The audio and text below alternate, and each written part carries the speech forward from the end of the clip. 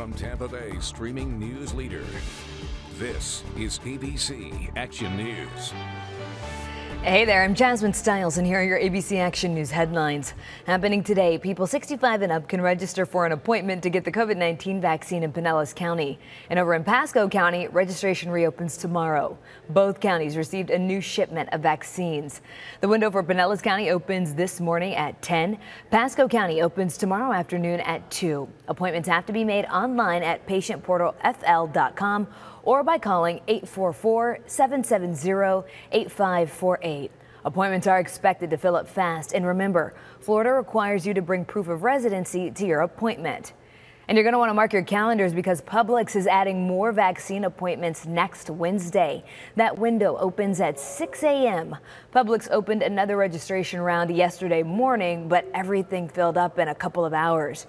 If you try again on Wednesday, you're advised not to refresh your browser if you can't get in right away.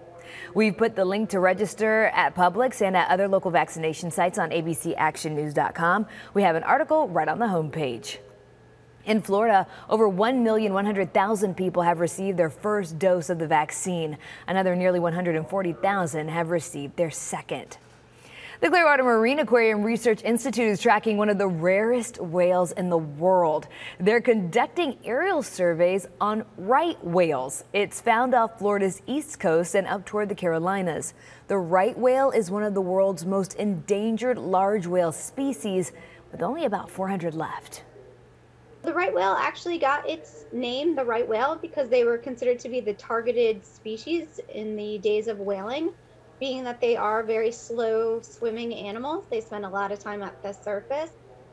That researcher says bringing awareness to this species is key for their survival. Now let's check in with meteorologist Jason Adams for a look at your forecast. So a little bit of morning fog out there will dissipate here over the next few hours, but we're going to be left with more cloud cover to the north of I-4, more sunshine to the south, and there's even a slight shower chance north of I-4 today, especially this morning, but mid 70s around I-4, south of I-4, upper 70s to around 80 degrees. And to the north, you're actually going to be stuck into the upper, upper 60s and low 70s given the extensive cloud cover. But then tomorrow, everybody breaks out into the sunshine after a little bit of morning fog, and we'll see warmer temperatures area wide, mid to upper 70s to the north, and upper 70s and lower 80s to the south. Thank you, Jason. ABC Action News is always home when you need us. Make sure to add our free 24 7 streaming news channel to your favorite connected device, and we'll see you there.